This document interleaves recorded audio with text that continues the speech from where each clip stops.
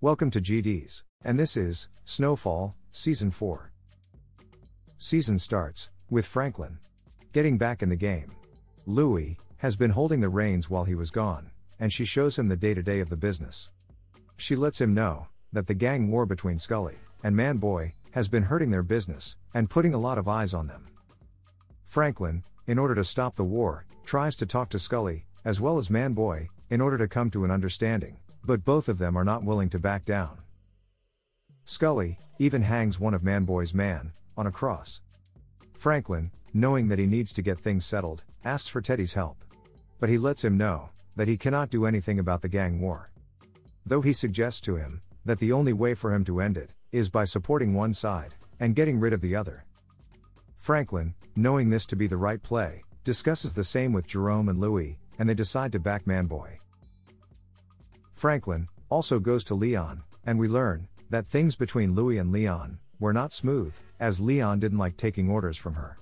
Franklin wants him to come back in the fold, but Leon lets him know that he is happy running the projects. Louis has also renovated the club, and she invites everyone for its reopening. Alton and Sissy decided not to go. At the party, Franklin reconnects with Tanas, aka T, his ex girlfriend from high school. While Leon, being there and seeing Gustavo, is quite angry with him, as he holds him responsible for Kevin's death. Franklin is able to calm him down. But this leads to an argument between them. As a result, they end their partnership. Later, Franklin goes to end the war, as they set up Scully for an ambush. But things don't go as planned, as one of Manboy's men jumped the gun. Franklin, Jerome, and Rob are able to get away, but Peaches gets injured in the shootout. Not knowing if Scully made it out, Franklin wants his parents to move out of the house for a few days, but they refuse. Franklin, knowing T, to have connections in Inglewood, asks her to find out if Scully is still alive. Manboy assures them that he took out Scully himself, but T lets them know that Scully got hit, but he is still alive. Franklin, knowing this, warns Leon, as Scully might also come after them. Teddy is having problems of his own. As during one of their runs, they are caught by the Tijuana police, despite them having a deal with their police chief. Teddy later finds that chief has been replaced, and the new chief, Oscar Fuentes, is not happy with the old deal and wants to renegotiate. Though he lets them leave for now. We also see Gustavo being happy with his brother's family. Hernan lets them know that the police chief only stopped them to find out how much product they are moving. In addition, Teddy also learns that the weapons have not reached their destination. Thus he goes to Avi to inquire about the same. Avi lets him know that he doesn't know anything about it, but assures him that he will find out. Teddy, along with Gustavo and Hernan, go to the chief Fuentes and offer him 10k, but the chief knowing how much they have been moving wants 100k. Teddy agrees to pay 50k for now. He lets Gustavo know that he will get things worked out by going over his head. We also get to see a reporter, Irene Abe, as she is looking into the suicide of Andre. She is able to track down Melody, as she moved in with her aunt. Melody tells her that her father didn't commit suicide, but was indeed murdered by Franklin Saint. Irene, intrigued by her claims, looks into Franklin. She is able to find that her mother lost her job, and they were about to lose their house, when suddenly, all their mortgage was paid off. And now they are buying real estate, with funds from a company whose accounts are offshore. She also learns that his father Alton used to be a member of the Panthers, and is now running a homeless shelter. While Franklin, knowing Scully to be alive, knows that he needs to take care of him. He asks Nix if he can do the job, as it will not only be a good drug bust for him, he will also pay him extra for the same. As Inglewood was out of Nick's territory, he goes to see the place with the cops of the area. They let him know that the pain of going after them was not worth their effort. Nix, thinking that Franklin might have tried to set him up, goes to the homeless shelter and threatens Alton. Irene, being there, in order to have a talk with Alton, is able to push back Nix. Alton agrees to talk with Irene, but only about the homeless shelter. Franklin, getting to know what Nix did, is quite angry. But his mother is able to calm him down.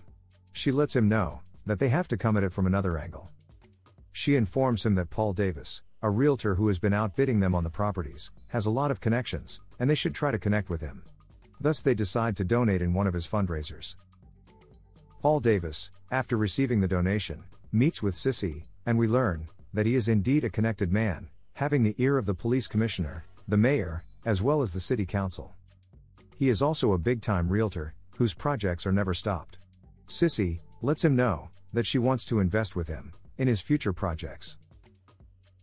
While Franklin warns Nix and lets him know that he should stay away from his family.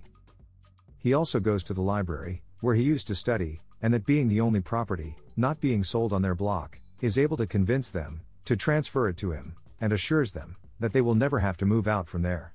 Alton, learning what they are about to do, is not happy with their decision. It is when Nix shows up, and he arrests Sissy. But in reality, it was not a genuine arrest, but only his way of threatening them. Franklin and Sissy give Paul the papers of the only shop which was holding out on him. While Paul assures them that their cop problem will be taken care of. And we see Nix being demoted and taken off the streets by the captain, who also lets him know that if he makes any noise about it, he will lose his job. Meanwhile, as Gustavo returns home, he finds Hernan and his wife murdered, with a message asking them for 100k. Gustavo is furious, and he lets Teddy know that he is going after Fuentes. But before he could storm the police station, he is knocked out. Teddy cuts him loose and lets him know that he will help him get Fuentes, and they will be helped by Mexican intelligence. Teddy comes clean to him and lets him know that he is not a drug dealer, but a CIA agent. Gustavo, not willing to wait for support from the Mexicans, is able to spook Fuentes and his men, making them head towards their hideout. Gustavo and Teddy go into his hideout, and they take everyone out. Gustavo takes Hernan's kids to his wife's sister, Xiomara. The kids love Gustavo, and they spend time together. Gustavo, now knowing that Teddy is in the CIA, tells him that moving forward, he would like to be paid $1,000 per kilo of product they move, as he now has to take care of Hernan's family, and Teddy agrees. Meanwhile, Irene, following up on the story, gets a visit from the detective, who arrested Franklin. He tells Irene about Andre, and the complaints against him. He also lets her know, on how Franklin was able to beat a murder charge. Irene tells him that Franklin's records never came up in her search. But the detective doesn't believe her. He later gets back to Irene and tells her that he was also not able to find anything on Franklin's arrest. But he gives her a lead, telling her to find Tony, the handler of the undercover DEA agent, who recanted her statement, which resulted in Franklin going free. Irene, after searching for Tony, finally gets to meet him as he breaks into her house. He tells Irene that Franklin is not the story, but the bigger story is how the CIA is bringing in coke in their own country. He gives her everything he had and tells her that he feels Lorena was also killed, but he doesn't agree to go on the record. Irene, having the information, goes to his editor and asks him to provide her with more resources. But they are not willing to provide her any, as it's just a story with no collaboration. Irene, in order to get collaboration, meets with the Colombian brothers, and they confirm the same. Having collaboration on the story, she is able to get the resources to investigate further. But they let her know that unless she gets someone to go on the record, they will not run the story. Meanwhile, Scully, seeking revenge, goes after Leon, but Wanda warns him in time. Though in the process, she is hit. Franklin, getting to know this, goes to him and lets him know that they should work together. But Leon sends him away. He later hires a private investigator to know about Scully's movement. In addition, he makes Wanda stay in the hospital till she cleans up.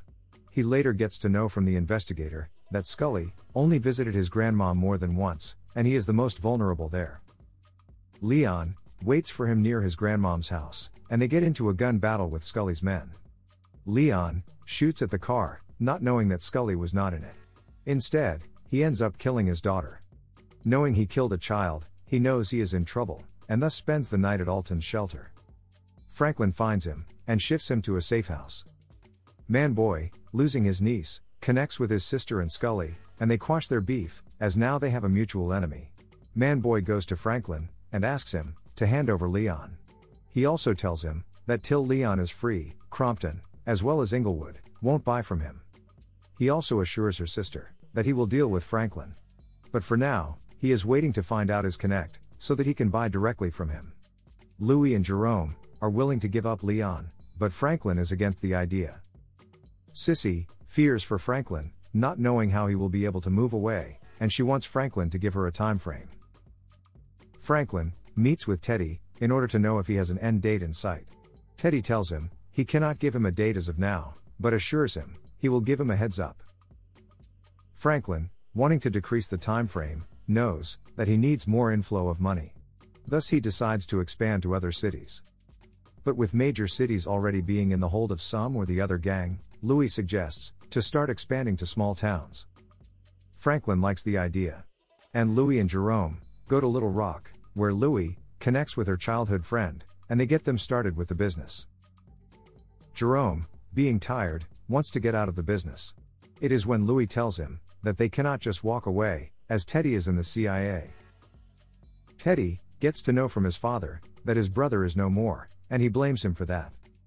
He also gets a visit from Havemeyer, who lets him know that the Mexican intelligence is not happy with all the mess they have made in Mexico.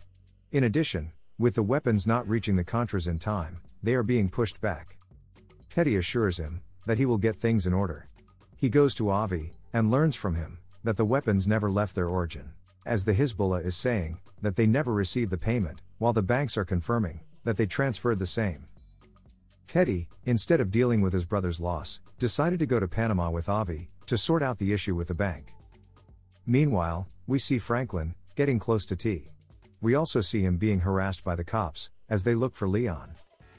Franklin wants Leon to help him convince Fatback to take the fall for the shooting and surrender himself. Though Leon is not happy, he agrees to do so. They assure Fatback that they will hire the best lawyers to protect him, and will take care of him, as well as his family. Fatback surrenders, and Franklin's lawyers are able to secure a bail for him. But before they could deposit the bail, someone deposits it, and they pick him up. And it turns out that it was Scully's wife, Khadija. Khadija, not trusting his brother and husband, took matters into her own hands to avenge her daughter's death. She kills Fatback and puts out a bounty on Leon's head. In addition, she also hires two freelancers, Dallas and Black Diamond, to help her take revenge. The rest of them, finding about Fatback, are quite upset, but Franklin lets them know that this solves their problems, as the police are no longer looking for a child killer.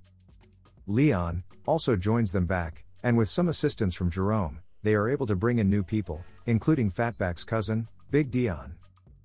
Wanda also gets clean, and she starts trying to get back on her feet.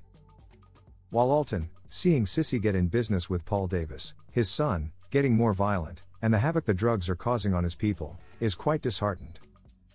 Irene, figuring out that Alton might be the weak link in the family, goes to him.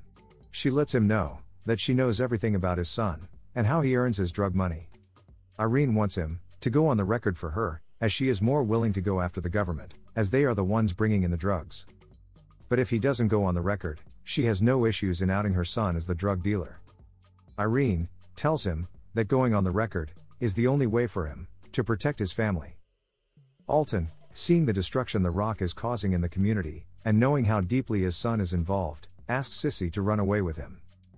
He lets her know that he got fake documents ready for them, and they can leave any time. But Sissy is not willing to abandon her son again. She tells Alton that they will get out in a few years. But Alton doesn't believe her, and in order to protect them, he agrees to go on the record for Irene's story, provided she protects his son. He later tells Franklin what he has done. Franklin is upset and angry with him, knowing that he has jeopardized things for him. They get into an argument, and Franklin, in a moment of rage, hits him. He lets his father know that they have nothing left between them now. Irene publishes the first article, without disclosing the name of anyone, she gives out details on how the CIA is bringing drugs into the United States.